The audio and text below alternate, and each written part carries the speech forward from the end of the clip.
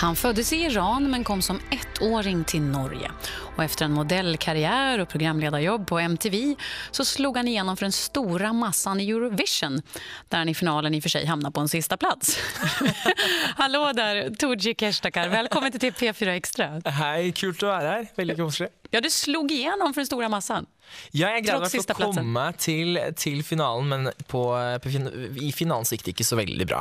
Men, eh, men jeg er i hvert fall takknemlig og glad for at det var Loreen som vant. da. Så jeg sa til henne at en av oss skal vinne! men så kom vi på helt motsatt side av skalaen.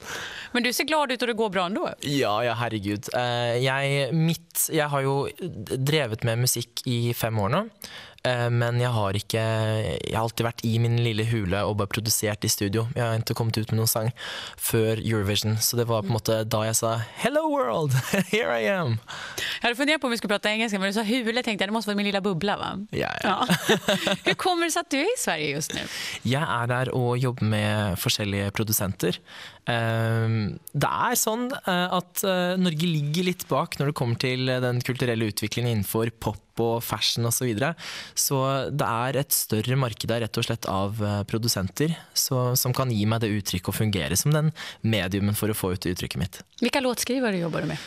Nå jobber jeg med en som heter Chris Whale og Anna Diaz. Som er, eh, hun, Anna Diaz er helt fantastisk. Eh, Hun har den nye singelen til Agnes som er ute nå. Så vi fant hverandre veldig og ble veldig gode venner. Eh, og hun skrev den siste singelen som jeg ga ut nå etter Stay og Eurovision, eh, som heter If It Wasn't For You, som jeg skrev til min mor. Och den ska vi lyssna på om en stund faktiskt.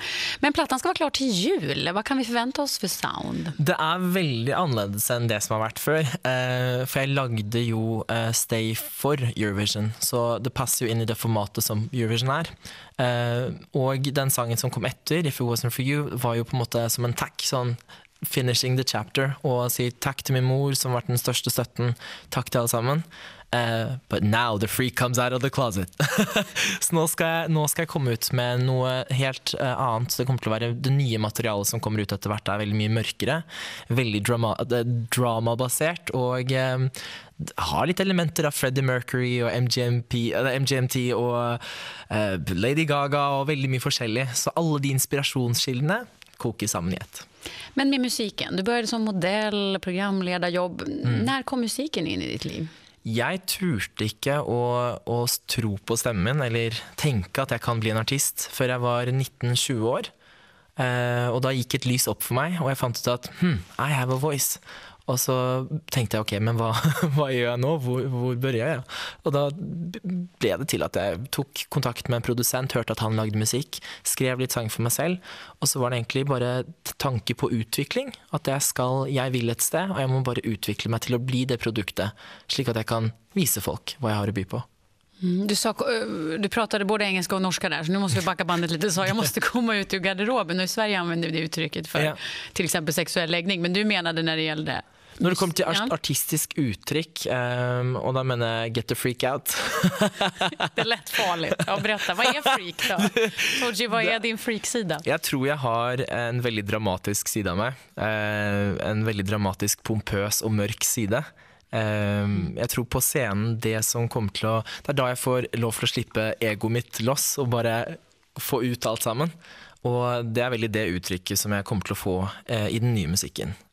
Men mörk sida, men du säger också, du sa ego, men jag vet att du är väldigt altruistisk. Du har varit engagerad i en kampanj för att skaffa fler fosterfamiljer och fosterhem åt barn. Kan du berätta? Ja, jeg er utdannet eh, barnevernspedagog eh, i eh, Hva blir barnevernet i, eh, i Sverige egentlig da? Barnombudsman, kan du ha? Barn, Ja, det blir jo på en måte det children's du Ja, barneomsorgen, mm. ja. Riktig. Så jeg er utdannet innenfor det, eh, og jobber, har jobbet med det en stund. Med da spesielt uh, trafficking-ofre og eh, barn som har rusproblemer osv. ungdom. Eh, og nå jobber jeg i Barne-, ungdom- og familiedirektoratet. Og er med da på å tilrettelegge medieplanen for barnevernet i Norge 2013-2016. Så Og så jobber jeg i tillegg med en fosterhjemskampanje for å få nye fosterforeldre.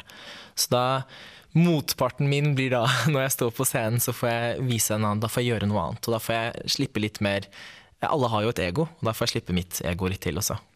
Hur kommer det seg at du også da engasjerer parallelt med at du satser på den her, som du sier, litt egokarrieren, at du enda engasjerer deg i Altså, de det, går, det går hand i hand. Altså, det, er, um, det er viktig for meg å bruke den muligheten som jeg får. Jeg tror alt kommer for en grunn. Og når det kommer inn i livet ditt, at du ikke kun gjør det for deg selv, men også bruker det til noe større, godt. Ehm, jeg tror alle har et ansvar når man har en profilering, å bruke det til noe fint også. Og det er, ehm, oppfordrer flere artister til å gjøre det. Og nå gjør din mamma glad, for nå får du se hva låten heter, Tooji, som du har skrevet for henne. If it wasn't for you.